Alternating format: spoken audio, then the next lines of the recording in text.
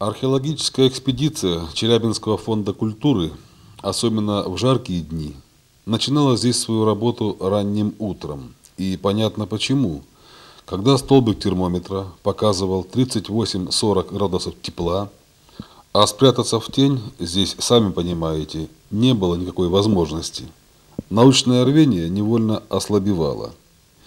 И тем не менее, в течение этого полевого сезона, а он еще не кончился – Работа проделана огромная. Открытые челябинскими учеными редкие малоизвестные памятники дали новый материал по истории нашего края в эпоху средних веков. Именно здесь подтвердилась гипотеза о проживании в этих местах аскизов, которые были наняты монголами для охраны торговых путей. Те же самые курганы, которые вы сейчас смотрели, они двуслойные. Первый курган сооружался в эпоху бронзы, в 15 веке до нашей эры. И там жило индоиранское население. Затем эти курганы э, были использованы уже в эпоху Средневековья. В них, прямо в эти курганы, были впущены средневековые могильные ямы.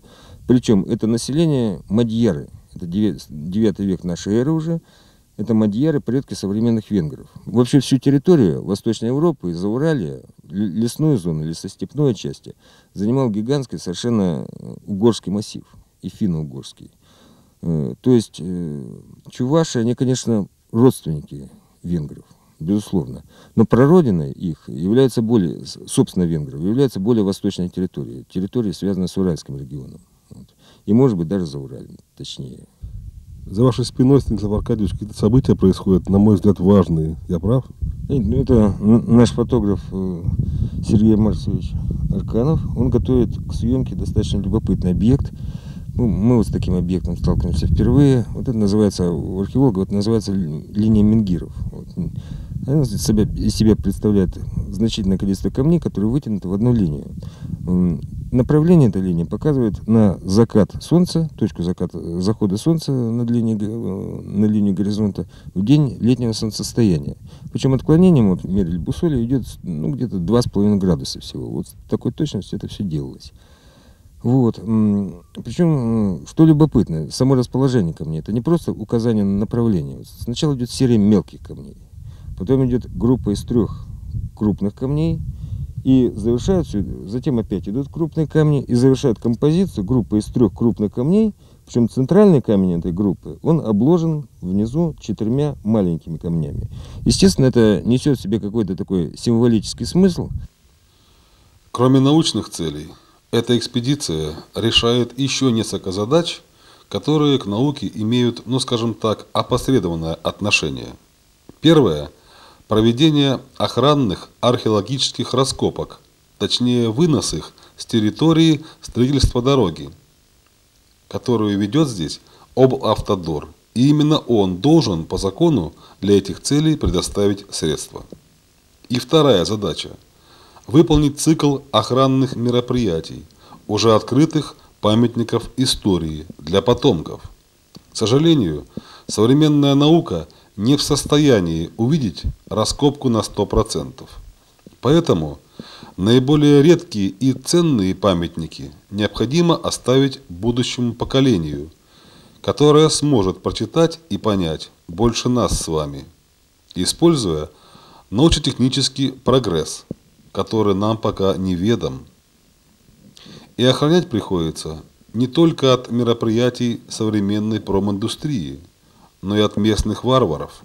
Охрана – это не только вот, э, что человек с ружьем охраняет здесь памятники. Нам приходится чаще всего сталкиваться просто э, с тем, что люди не знают, что такое памятник, э, для чего ведутся раскопки и э, ради чего, собственно, нужно э, вот, действительно заниматься охраной памятников истории и культуры, и что они из себя представляют. Поэтому чаще всего нам приходится заниматься просвещением э, и рассказывать, какую ценность имеют вот эти памятники, вот эти вещи для людей, для общества, для науки.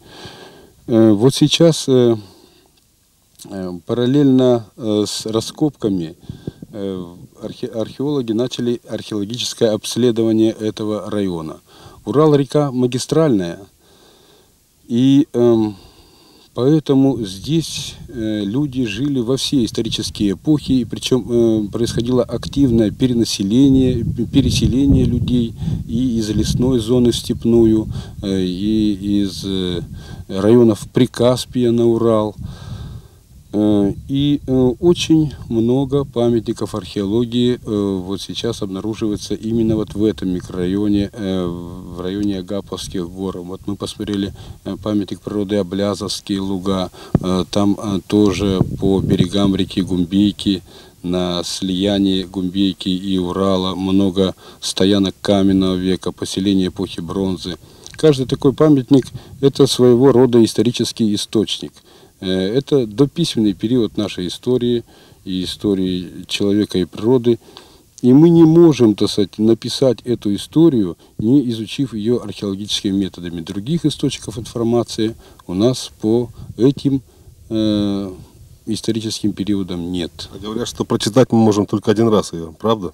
Да, совершенно верно. То есть э, специфика археологии, археологической науки состоит в том, э, что изучая памятник, как бы прочитывая э, этот памятник, э, мы его одновременно и разрушаем. Существует иллюзия о том, что погребение, скажем, с золотом, вот, с серебром это достаточно большая редкость.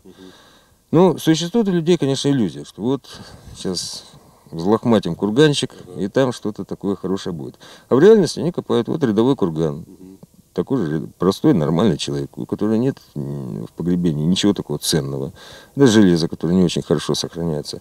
Ну, вещи ломаются. Вот мы прошлый год копали курган, они все были ограблены где-то в 70-е годы. Вот. Вещи мы находили уже не в могильных ямах, а выброшены прямо в отвале. Это, видимо, агаповские хлопцы, да?